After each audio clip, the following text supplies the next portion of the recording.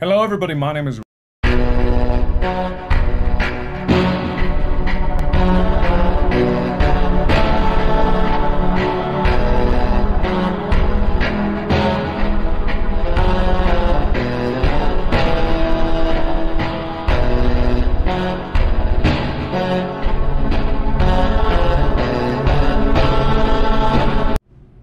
Also known as.